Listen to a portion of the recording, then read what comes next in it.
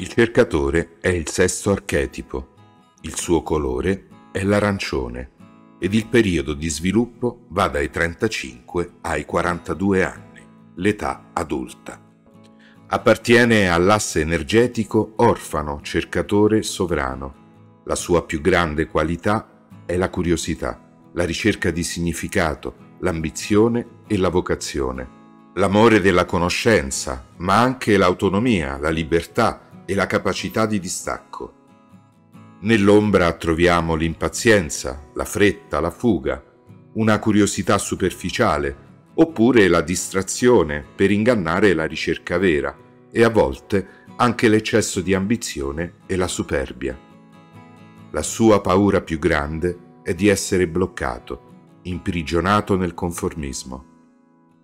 Se l'amante presiede al processo di identificazione che ci fa avvicinare a ciò che ci attrae, il cercatore presiede al processo di disidentificazione che ci fa allontanare da ciò che non ci attrae più per ricominciare la ricerca altrove. Così, ad esempio, quando sentiamo che abbiamo esaurito il potenziale di una relazione, dobbiamo, seppur con dispiacere, lasciarla andare e continuare la nostra ricerca per trovare sempre qualcosa di migliore, per crescere.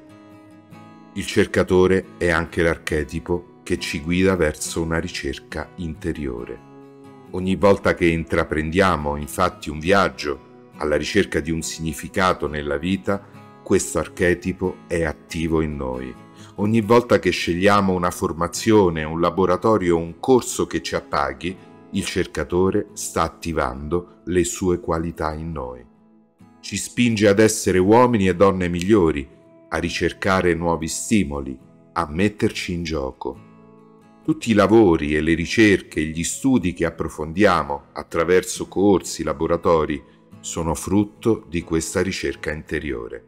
È quindi questo archetipo che ci conduce verso nuovi obiettivi, con la determinazione e la consapevolezza che il bagaglio di esperienza conquistato sarà utile non soltanto a noi stessi, ma sarà disponibile per l'umanità.